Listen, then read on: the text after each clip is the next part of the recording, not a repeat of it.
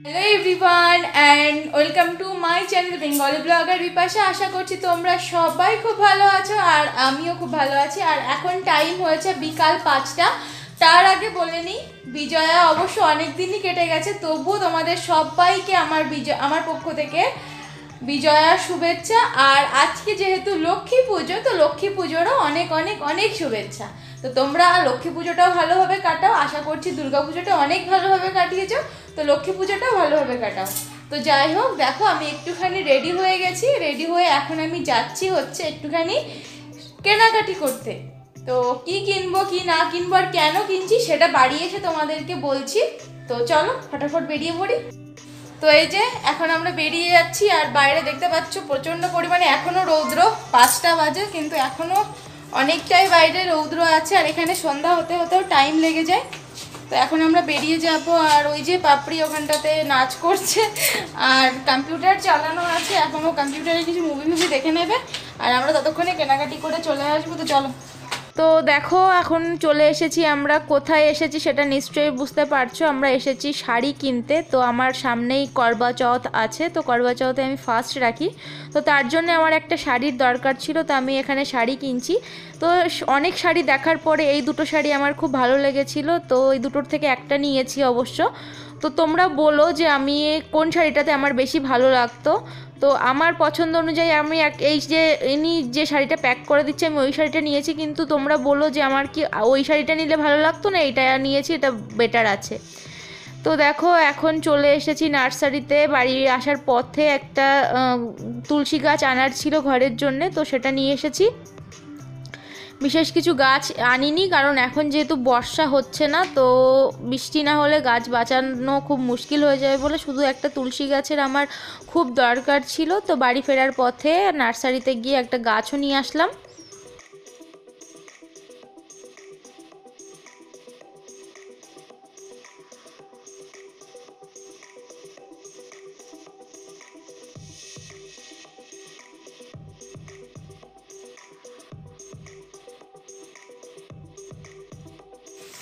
বিকালবেলা বাড়ি এসে সমস্ত সব কাজ করলাম, দেখলেই ছাদের পরে দু, তিন দিনের জামা কাপড় রাখা ছিল সেই সমস্ত নিয়ে এসে এখন ফোল্ড করে আলমারিতে ওঠালাম। আর একটু টাইম লেগেছে জামা কাপড়গুলো গোছাতে, কারণ আলমারির জামা কাপড় যেখানটাতে রাখি, পুরো একদম এলোমেলো হয়েছিল, তো সেইগুলো সব গুছিয়ে রাখতে একটু লেট হয়ে গেল এখন। আর এখানটাতে দেখতে পাচ্ছ কিনা জানি না, এই যে, এই জামা কাপড়গুলো সব বড় আলমারির মধ্যে যাবে বলে ওখানটাতে এইভাবে রেখে দিয়েছি। তো আর আমার বরমশারা বাড়ি চলে এসেছে। এখন আমরা সবাই মিলে খাব ফুচকা। তো তারও প্রিপারেশন করে নিয়েছি অলরেডি তো চলো একবার রান্নাঘরে গিয়ে দেখিয়ে দিই যে আমি কি কি প্রিপারেশন করেছি। তো দেখো এখানে ফুচকা ভেজে রেখে দিয়েছি। এক সেকেন্ড আর একটা লাইট চেটে দিই। হ্যাঁ। এবার দেখাবে। তো দেখো এখানে আমি ফুচকা ভেজে রেখে দিয়েছি। এটা তো সেই পাঁপড় ফুচকা। সবাই চেনো নিশ্চয়ই। এই যে রেখে দিয়েছি। আর এখানে এই যে আলু সেদ্ধ করে রেখে দিয়েছি। এখানে আলু মাখাতে যে সমস্ত যে লাগবে সব কিছু এখানে পেঁয়াজ, কাঁচা লঙ্কা, শসা সব কিছু রেখে দিয়েছি। বাদাম আর টক জল বানানোর জন্য দেখো, এই যে তেঁতুলটাও ভিজিয়ে রেখে দিয়েছি। মানে সব কিছু জোগাড় করে রেখে দিয়েছি। এখন শুধু ওটা মাখাবো, টক জল বানাবো। আর খাওয়া দাওয়ার পর্বটা ছেড়ে ফেলব।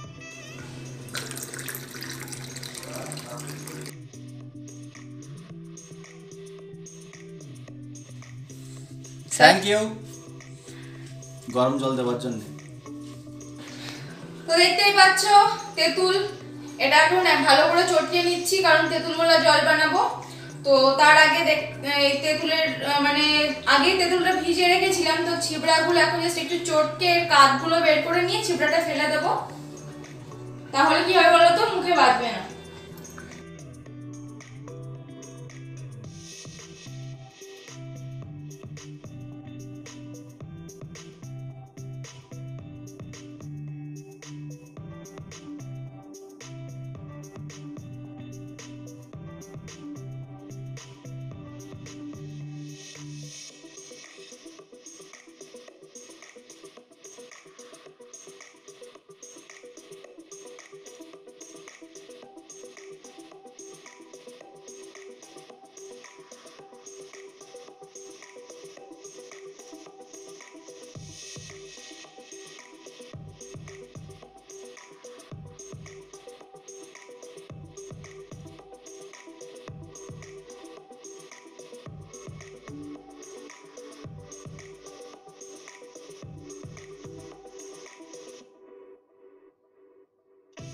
দেখো, এই যে সবকিছু নিয়ে বসে পড়েছি, এখানে ফুচকা, আলু মাখা, টক জল, সবকিছু নিয়ে বসে গেছি। তো এখন প্রথম একটা তোমাদের জন্য বানাবো।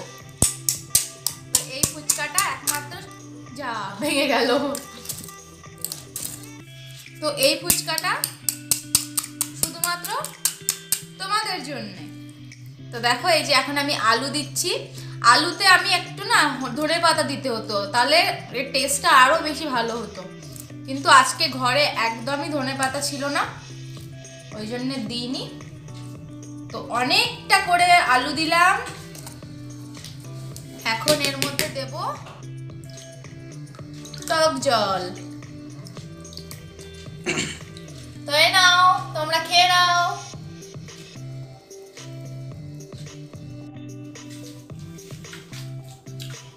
গুড মর্নিং ফ্রেন্ড দেখো আমরা ব্রেকফাস্ট করছি। ব্রেক শেষ হয়ে গেল ব্রেকফাস্ট করা আমাদের। আমরা এখন যাব হচ্ছে স্কুলে আজকে শুনো টেস্ট এখন যাব আমরা। তার জন্য জল জলদি খেয়ে আমরা যাচ্ছি। কারণ স্কুলে এখন লাঞ্চ হয় কিন্তু অ্যালাউ নেই খাওয়া দাওয়া। বাচ্চাদের টিফিন খাওয়া অ্যালাউ নেই। তার জন্য বাড়িতে খেয়ে যাচ্ছে জলদি জলদি করে। নটার সময় লাঞ্চ হয়। চল ভাই।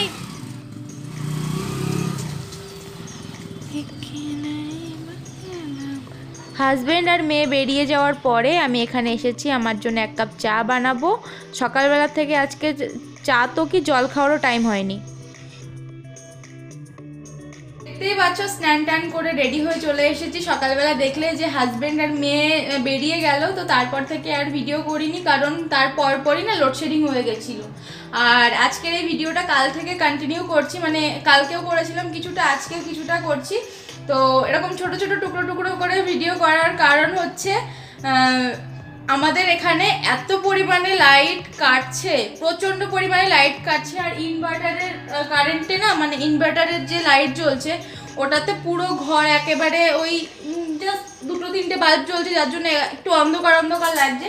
তোর জন্য ভিডিও তোমরা বুঝতেও পারবে না, পুরো ব্ল্যাক ব্ল্যাক আসবে, তো ভাবলাম ছেড়ে দাও। তো যাই হোক, এখনও পর্যন্ত কারেন্ট আসেনি, তো ভাবলাম আজকের এই ব্লগটা শেষ তো করতে হবে, তো তোমাদের সাথে কিছু একটা শেয়ার মানে ক্লিপ শেয়ার করি। তো ভাবছি আজকে তোমাদের সাথে কিছু ইম্পর্টেন্ট কথা শেয়ার করব। তো সেই কথাগুলো কি? তো চলো পরে বলছি। তার আগে দেখে নাও যে আজকে দুপুরবেলা লাঞ্চে আমি কি কি বানিয়েছি।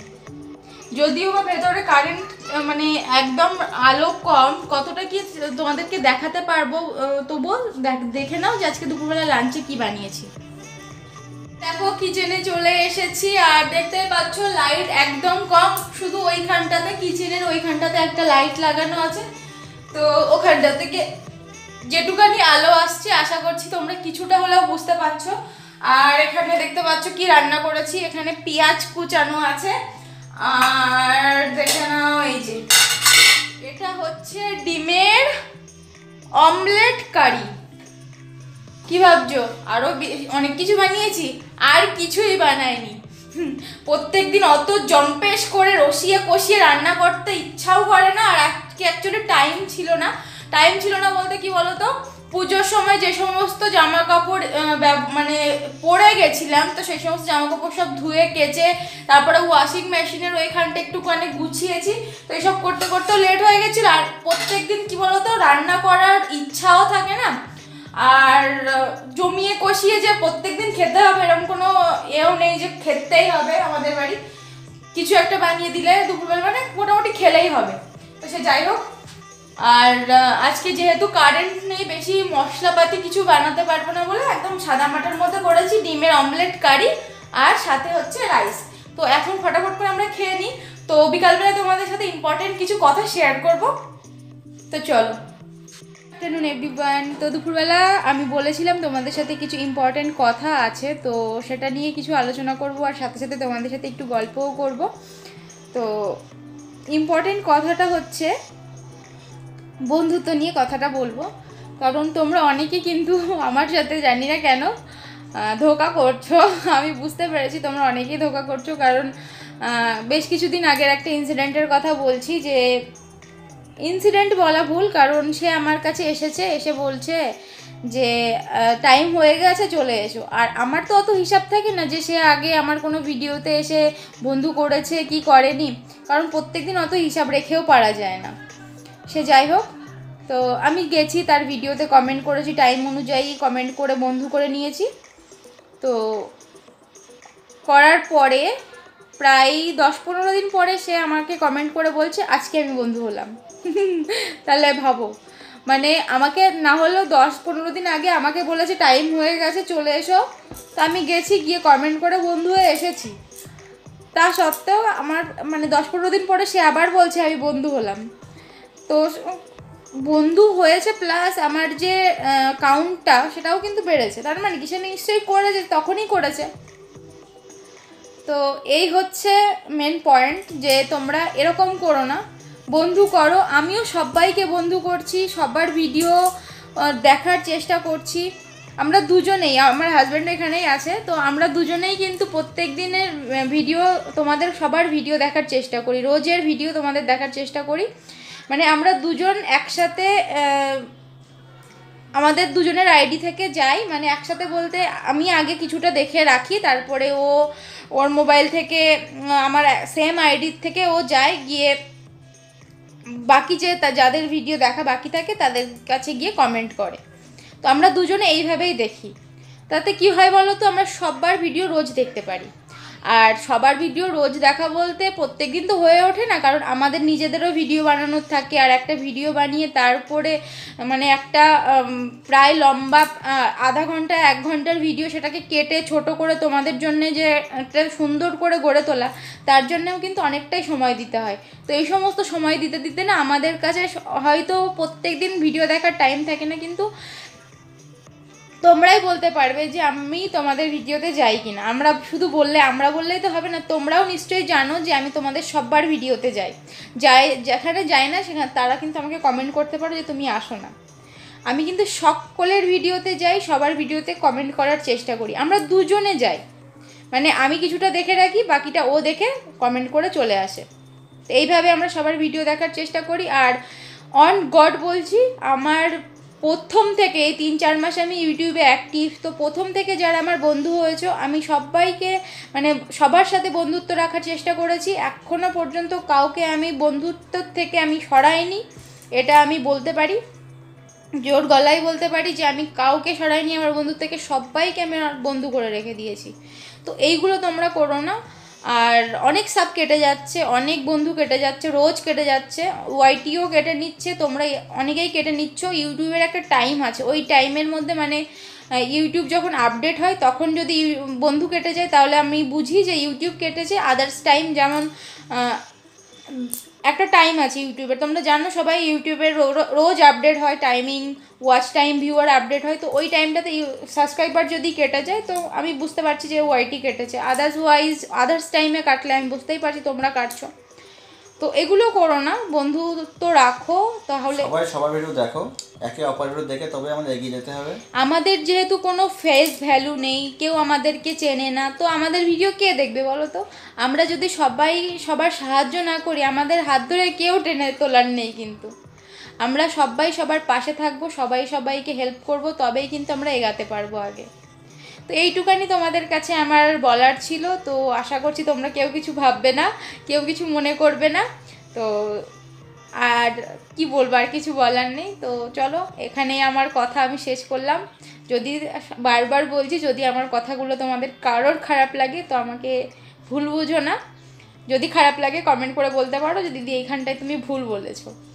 তো চলো, আজকের মতন এইটুকানি। কালকে আবার নতুন ভিডিও নিয়ে হাজির হয়ে যাব।